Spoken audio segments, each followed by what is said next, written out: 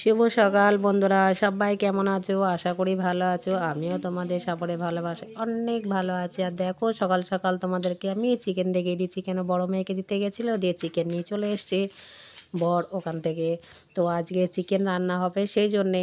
তো দেখো মেয়ে স্কুল থেকে এসেই ও আদা, রসুন, পেঁয়াজ ছুলতে লেগে পড়েছে।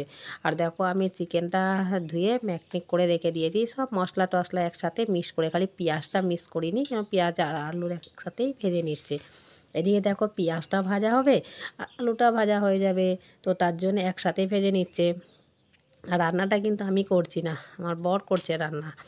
আমি অত চিকেন রান্না ভালো পারি না সেই জন্যে আর দেখো এখানে কষা হচ্ছে। তো এখনও সেভাবে কষা হয়নি। এই তো সব মতো চাপিয়েছে। তো তোমাদেরকে পুরো কষাটাই আমি দেখিয়ে দেব। তো দেখো এখন কষা হয়ে গেছে। এখন পুরো তেল ছেড়ে গেছে। তো এই দেখতে পেয়েছ তোমরা পুরো কষা হয়ে গেছে। তো এবারে ওটাতে জল ঢেলে দিল। আর এখানে বাটি নিয়ে দাঁড়িয়েছিল মেয়ে নেওয়ার জন্যে, তো মেয়ে নিয়ে নিয়েছে দু পিস তুই মেয়ের। আর এদিকে দেখো জল ঢেলে দিয়েছে, রান্না হয়ে গেছে। আর দেখো কত সুন্দর হয়েছে, কালারটা একদম লাল ঝোল চিকেন আর আলু দেওয়া হয়েছে এক পিস করে, খুব টেস্ট আর তারপরে দেখো আমরা ভাত নিয়ে বসে গেছি। মানে এটা হচ্ছে ছোট মেয়ে খাচ্ছে, তারপরে তো আমরা তিনজন খেয়ে নিব। তো দেখো খালি চিকেন আর আলুর চোখা ভাত নিয়েছে, আর কিচ্ছু খায়নি। আর আমার এই ভিডিওগুলো ভালো লাগলে একটা সাবস্ক্রাইবার করতে ভুলবে না লাইক কমেন্ট শেয়ার করবে। আর সবাই সাপোর্ট করো